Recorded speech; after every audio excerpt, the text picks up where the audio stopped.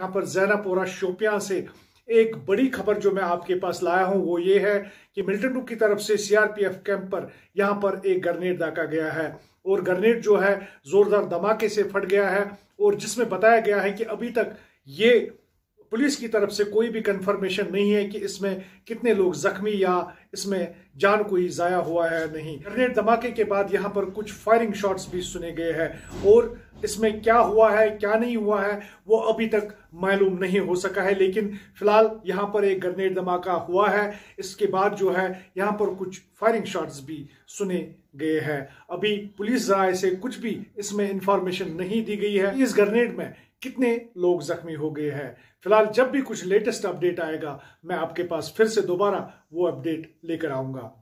फिरदोसलाई JK news today Srinagar